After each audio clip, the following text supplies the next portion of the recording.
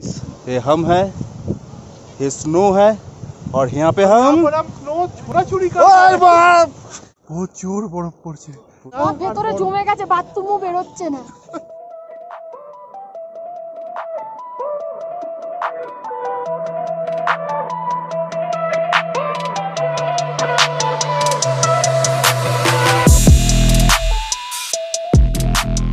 Just ভিউটা দেখো guys এই উইন্ডো অ্যান্ড উইন্ডো থেকে বাইরে তাকালেই ওয়েট ওয়েট ওয়েট এত তারা কিসের? আমার তখন নিজেরই ব্যাগ গোছানো হয়নি। একটা গোছাতে দাও। ততক্ষণে ইন্ট্রোটা দেখে নাও। হ্যাঁ হোয়াটসঅ্যাপ ফেসবুক ইনস্টাগ্রাম ইউটিউব বন্ধু তোমরা সবাই কেমন আছো? আশা করছি ভালোই আছো। ভালো থাকলে তো ভিডিওটা দেখবেই। আর না থাকলেও ভিডিওটা পুরো দেখো কিন্তু। Hey Rai welcome to my channel it's me Pintu কোথায় যাচ্ছি তাহলে আমরা? হাস্যকর বলতে হবে? তো এই হচ্ছে সেই কাকা বলো তো কাকা কি খাচ্ছে সস। বড় এক লস আমি সব কাকারক তখন যে কাকাটাকে আমাদের দেখাচ্ছিল সেই কাকাটা ট্রেনে উঠেছে প্রথম। যখন থেকে ট্রেনে থেকে তখন থেকে এমন কোনো খাবার নেই যে সে খায়। যা উঠেছে তা যা উঠেছে কাকাটা রয়ে? কত হবে? একশো ফোনে বলছি। একশো। একশো একশো চার পাঁচ তো বসেই আছে একশো পাঁচ একশো দুই।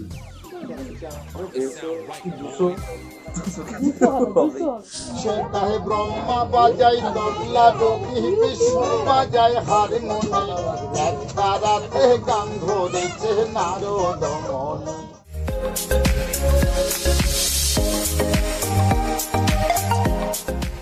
তো ফাইনালি গাইস নিউ জলপাইগুড়ি স্টেশনে চলে এসেছি।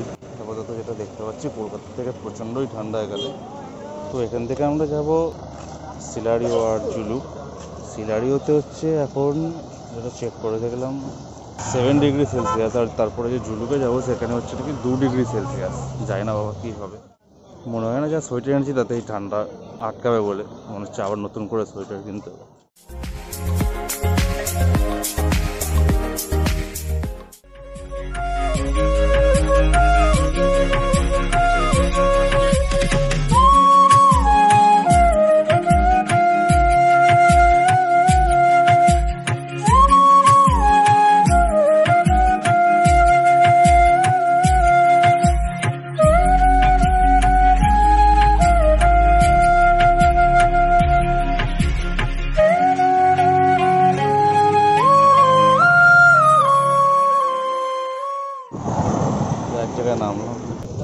খিদেও পেয়ে গেছে প্রচণ্ড ঠান্ডাও লাগছে। তো এই দোকানটা থেকেই ব্রেকফাস্ট করে বেরোবো। ব্রেকফাস্ট কমপ্লিট করে আমরা আবার রওনা দিয়েছি সিলারিগড়ের উদ্দেশ্যে। পাহাড়ের ওপর বিস্তৃতময় জঙ্গলের মধ্যে দিয়ে আঁকা বাঁকা পথ দিয়ে আমরা এগিয়ে যাচ্ছি। আমার আস্তে আস্তে ডান কাকনটা অলরেডি বন্ধ হওয়া শুরু হয়ে গেছে। সত্যি শুনতে পাচ্ছি না আমি একাই সবার কাছেই প্রবলেম হচ্ছে। আমরা চলে এসেছি এখন সিলারিগাঁও নির্মলা হোমস্টে বলে একটা হোমস্টেতে। তো এখানে এসে আমরা একটু ফ্রেশ হয়ে আমাদের লাঞ্চটা কমপ্লিট করলাম। তো এখানে যে সৌন্দর্যটা রয়েছে সেটা তোমাদের সামনে তুলে ধরছি। এখানে খুবই সুন্দর এবং শান্তশিষ্ট পরিবেশ। তো তোমাদের সামনে তুলে ধরছি, তোমরা দেখো।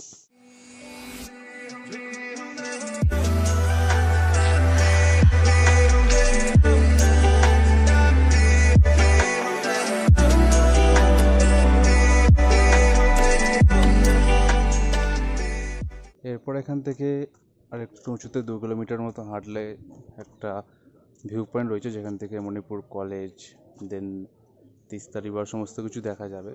তো যেই ভিউ পয়েন্টে যাওয়ার কথা ছিল, তো কোনো কারণবশত সেখানে যেতে পারেনি।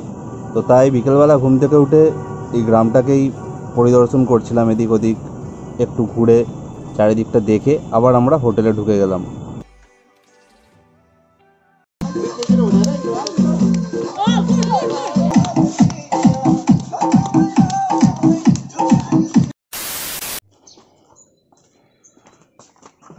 চাচা।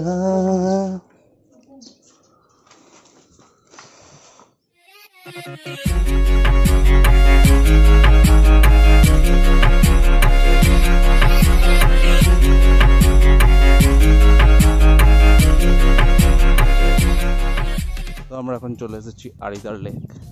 খুবই সুন্দর একটা জায়গা এবং তার লেকটার চারপাশ দিয়ে একটা রাউন্ড মতো করা আছে। যেটা নতুন তৈরি করেছে এবং তার পাশ দিয়ে আমরা এখন রাউন্ড মারছি দু কিলোমিটার। এবং সামনে একটা মন্দির।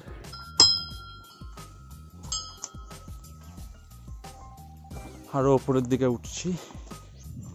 পুরো লেকটাকে ঘিরে কভার করার চেষ্টা করছি।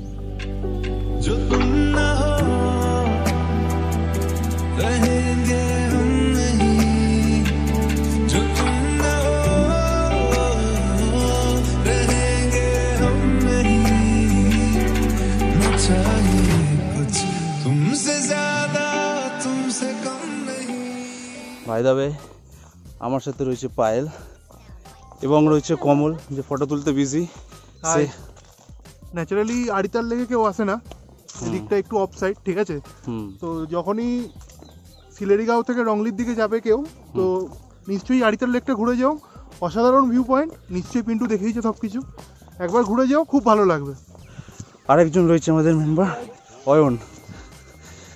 এখান থেকে আমরা যাব ডাইরেক্ট রমলি বাজার, সেখান থেকে পাস করতে হবে।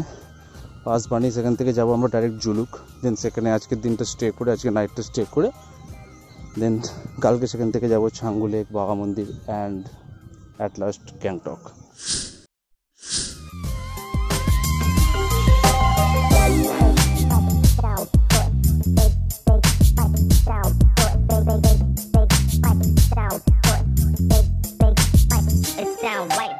যাতে চলে এসেছি গাইস সমস্ত কিছু কাজ কমপ্লিট হয়ে গেছে। তোমাদের জানিয়ে রাখি, এখানে আসতে গেলে এখানে যে পাস করতে হয়, তো এখানে মোটামুটি এক ঘণ্টা তো লাগেই। তো সেই হিসেবে তোমাদেরকে সময় নিয়ে এখানে আসতে হবে, কারণ পাস বানাতে অনেক টাইম লাগে। আর এখানে যে ডকুমেন্টসগুলো লাগে হচ্ছে তোমাদের এক কপি করে ভোটার কার্ডের জেরক্স আর এক কপি করে পাসপোর্ট সাইজ ফটো তো সেগুলো তোমরা সাথে নিয়ে যদি ক্যারি করে আনো অতটা টাইম হয়তো তোমাদের লাগবে না। এখানে যে রামলি বাজারটা রয়েছে, এখানে এক একটা জেরক্স বাবা, একটা জেরক্স যেটা আমাদের ওখানে এক টাকা, সেটা এখানে এক একটা জেরক্স দশ টাকা করে নিচ্ছে। তো দিস ইজ বিজনেস জুলুকের পথে যাচ্ছি, আর সাত কিলোমিটার বাকি। অলরেডি টেম্পারেচার চেঞ্জ হয়ে গেছে, ঠিক আছে? মোটামুটি ঠান্ডা লাগতে শুরু করে দিয়েছে। প্রচণ্ড জোর খিদে পেয়েছে, আর পারছি না। ঠিক আছে, এবার উপরে উঠবো। উপরে উঠে খাওয়া দাওয়া করে আবার দেখা হচ্ছে জুলুকের ভিউ নিয়ে ঠিক আছে?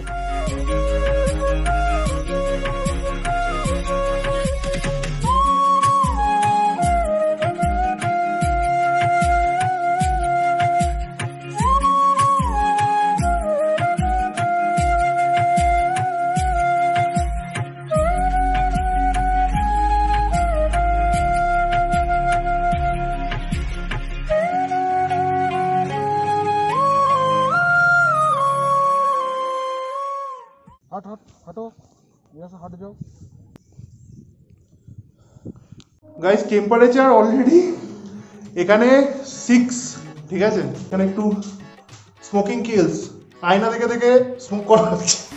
জুলুক অবভিয়াসলি অসাধারণ ভিউ কালকে দেখলে বুঝতে পারবে অসাধারণ ভিউ ঠিক আছে এখন বাজে মোটামুটি সাড়ে পাঁচটা। তো এখন একবার এখান থেকে কীরকম দেখাচ্ছে তোমাদের দেখাচ্ছি। চলো একবার দেখলাম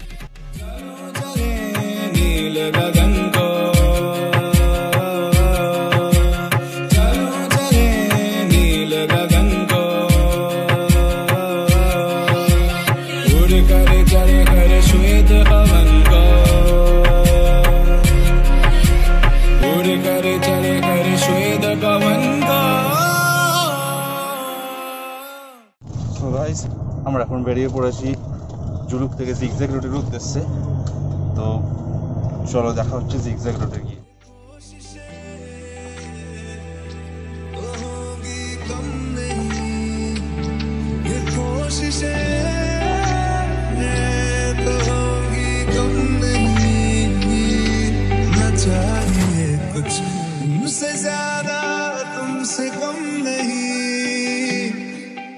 আমরা জিগজ্যাগ রুটে তো এখান থেকে তোমাদের পঁয়ত্রিশটা বাঘ দেখাতে পারব। এখান থেকে পিছনে যেটা দেখতে পাচ্ছি, পিছনে যেরকম আঁকা বাঁকা আঁকা বাঁকা কতগুলো রাস্তা দেখা যাচ্ছে, সেটাই হচ্ছে জিগজ্যাগ রোড যেখানে চৌত্রিশখানা বাঁক রয়েছে।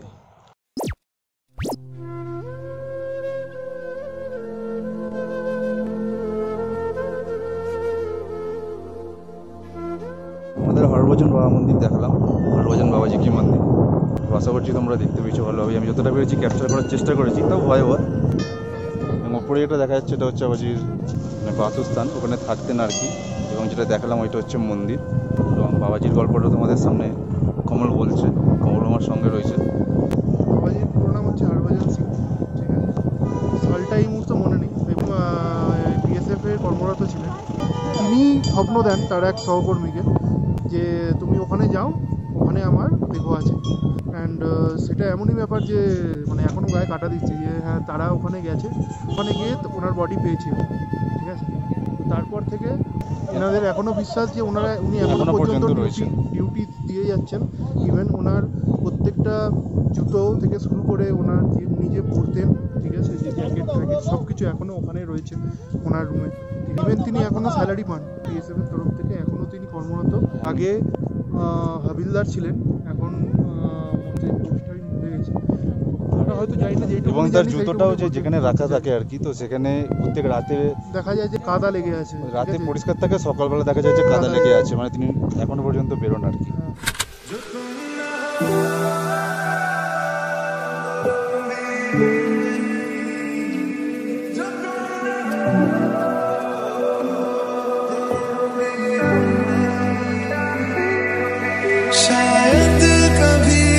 कह सकूं मैं तुमको कहे बिना समझ लो तुम शायद शायद मेरे ख्याल में तुम एक दिन मिलो मुझे कहीं पे गुम शायद এখন আমরা চলে এসেছি গাইস ছাঙ্গু লেক বিশাল ঠান্ডা এখানে দেখো।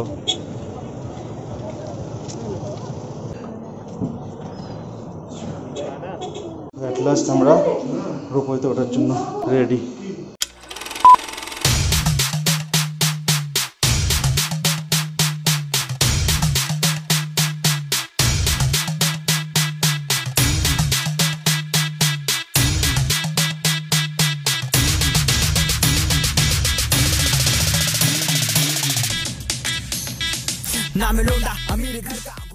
দশ মিনিটের জন্য বেরিয়েছি।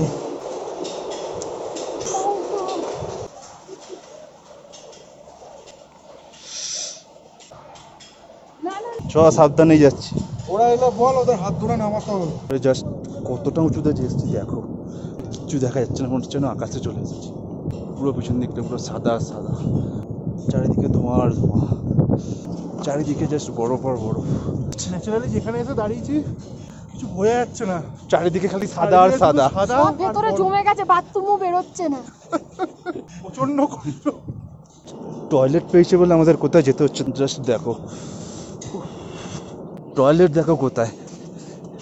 এ কি? তুই লেডিসে ঢুকেছিস কেন? ঠিক আছে চলো আমার নিচে গিয়ে দেখা হচ্ছে।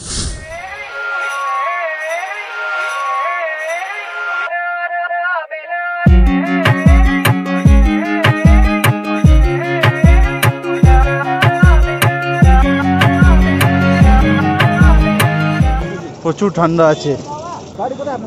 কলকাতা? কলকাতা শিলিগুড়ি। নাইস কত চুমড়ি গাই দেখো গাইস ইয়াকরাইটের জন্য।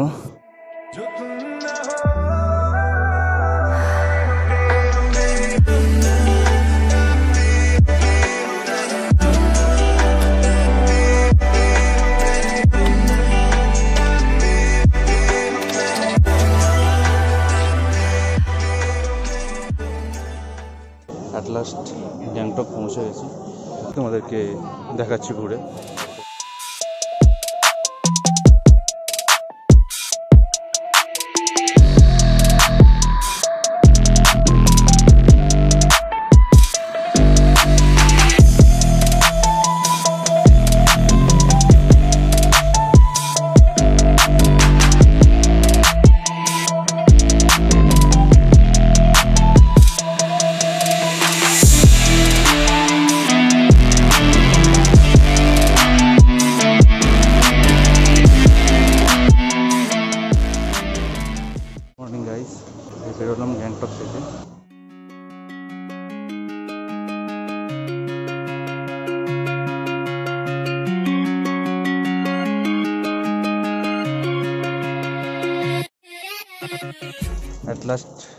লাচনে পৌঁছে গেছি। প্রচণ্ড ঠান্ডা এখানে। গ্যাংটকে টেম্পারেচার ছিল ষোলো ডিগ্রি। আর এখানে এখন বাজে সাড়ে পাঁচটা। এইট ডিগ্রি সেলসিয়াস হচ্ছে এখানে temperature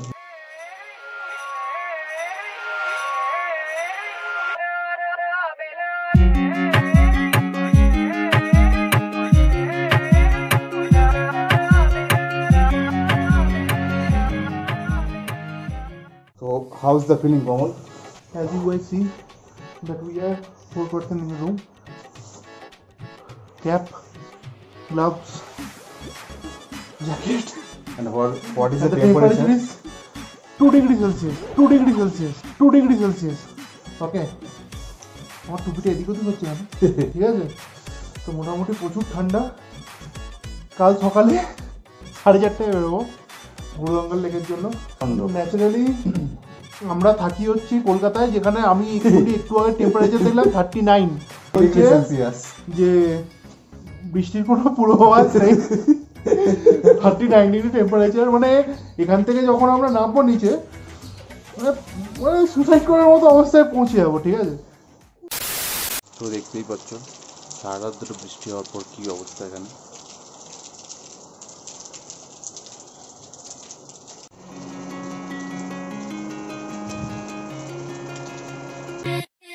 Thank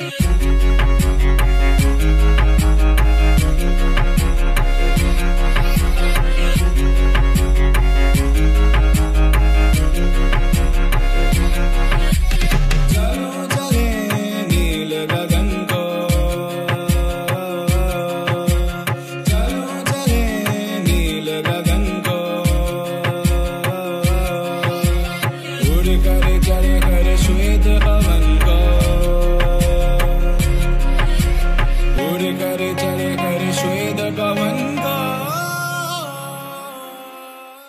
গাইস পুরো দেখতে পাচ্ছ, এইখানে স্নোফল পুরো ওর মাথায় টুপিতে দেখলেই বুঝতে পারবে।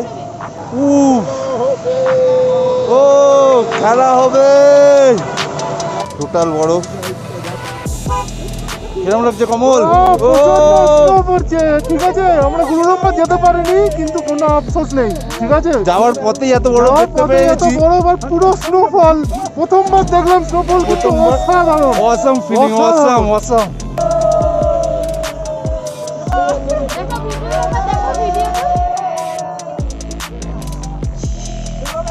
just আমার টুপি আর মাথাটা দেখো গাইস প্রচুর বরফ পড়ছে। উফ। প্রচুর বরফ পড়ছে। প্রচুর বরফ। মনে হচ্ছে খেলা হবে খেলা হবে।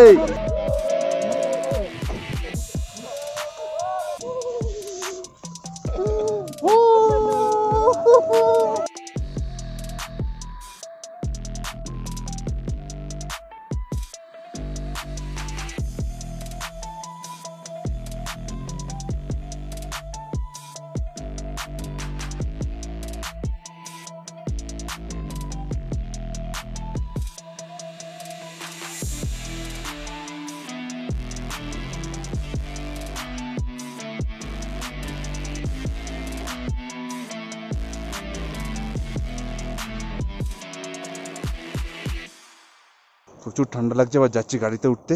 দেখা হচ্ছে আবার হোটেলে গিয়ে। এর সাথে আমি ভিডিওটা এখানে শেষ করলাম আমার এই ব্লগটা। তো ভিডিওটি যদি ভালো লেগে থাকে অবশ্যই একটা লাইক করতে ভুলো না। কমেন্ট করে অবশ্যই জানিও যে ভিডিওর কোন পার্টটা সব থেকে বেশি ভালো লেগেছে এবং বন্ধুদের সাথে বেশি বেশি বেশি করে শেয়ার করে বন্ধুদের কাছে পৌঁছে দিও। তো চলো, এই ভিডিওটা এই পর্যন্তই আমি শেষ করলাম। দেখা হচ্ছে নেক্সট কোনো ভিডিওতে আবার।